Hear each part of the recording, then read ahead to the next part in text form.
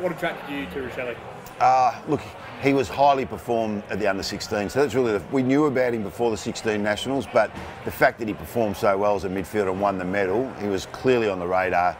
You know, you walk out of the under 16s and you probably have 10 to 15 players where you go, well, he looks like a first round pick in his draft year, um, and it, it ended up that way, but obviously there was a fair bit of COVID and a lot of interruptions in between. So the fact that he got to play 13 games was a real positive for us. We did get to see him, and the, the games at the start of this year, the game against Geelong when he played for Australia.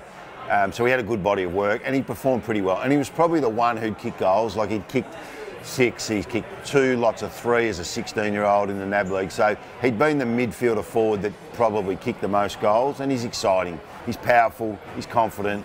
Um, he's got a lot of what we like and a lot of what we need, and that was a part of the ground we want to try, try and address with the power. Um, so he can play midfield. That'll take some time. Gonna have to build his engine up a bit, but he, he's pretty fit at the moment, given they haven't played much footy, so he's pretty well prepared.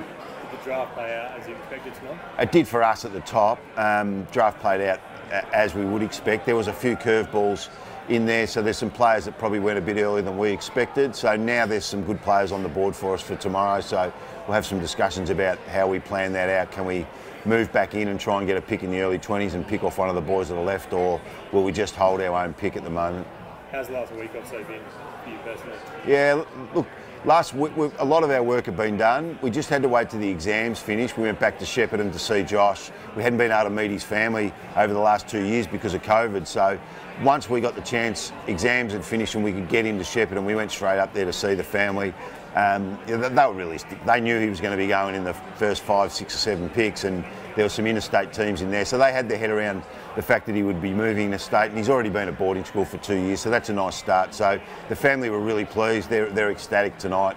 Um, everyone from the club's got to meet them all, so that's gone really well. So they had their head around moving, and Josh clearly had his head around. He knew it was probably going to be us or Fremantle or one of the teams at the top. So we've been able to do a bit of work with him over the last couple of weeks and um, continually talk. Nicksy's spoken to him a few times, so we were pretty ready to go and well prepared tonight, and so was he. So night two tomorrow. What should fans expect? Um, well, I think uh, I hope our fans will be excited. I'm sure they will be. I'm confident they will be with what we bring in. Um, if it goes to plan, um, I, I think now we'd like to try and get another pick in. Whether we can do that or not, you've always got to have someone who's prepared to sell. We're probably prepared to buy at the moment. It's just a matter of how much we want to give up. But our pick in the 30s looks a good pick now, so I'm really confident we're going to get a player that we've had targeted to that pick, and then um, we might need a little bit of luck to ride it through to the last pick. But um, I think we'll try and maybe We've, we've been fortunate, we've addressed a need with speed and power forward of the ball with Josh, which is good, and we may be able to get some more speed in for our next two picks, I think.